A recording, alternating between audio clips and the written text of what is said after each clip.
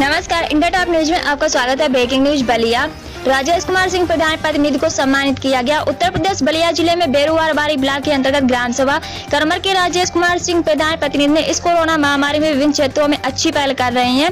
अपना जान जोखिम में डालकर जनता की सेवा में लगातार डटे रहे। इस कार को ग्लोबल इंडिया टीवी न्यूज़ एवं दैनिक देश मोर्चा ने देखा और राजेश कुमार सिंह प्रधान प्रतिनिधि को सम्मानित किया गया और सुरेंद्र कुमार गुप्ता ब्यूरो प्रमुख ने कहा कि इस कोरोना महामारी में जो काम किया उनको सम्मानित किया जा रहा है।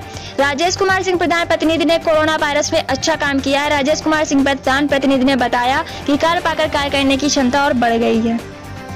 जी अपना एक परिचय बता दीजिए। मैं राजेश कुमार सिंह प्रधान प्रतिनिधि ग्राम पंचायत प्रमुख विकासखंड बजवारगंज जनपद बलिया।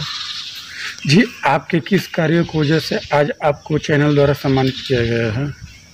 कोविड नाइन्टीन के जंग में जो हम लोगों ने समाज में काम किया सैनिटाइज करना मास्क वितरण करना सफ़ाई रखना ये सब कामों के लिए आपके चैनल द्वारा जो है सम्मानित किया जा रहा है। जी आपके ग्राम सभा में एक भी कोरोना पॉजिटिव अभी तक कहीं प्रवासी आए हैं? हाँ, एक प्रवासी आया था वहाँ से फरीदाबाद से।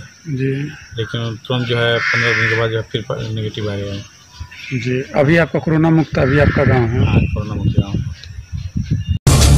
सब्सक्राइब करें इंडिया टाइम न्यूज़ चैनल और बेल आइकन दबाना ना भूलें। इंडिया का न्यूज़ अपडेट सबसे पहले आपको मिल पाए।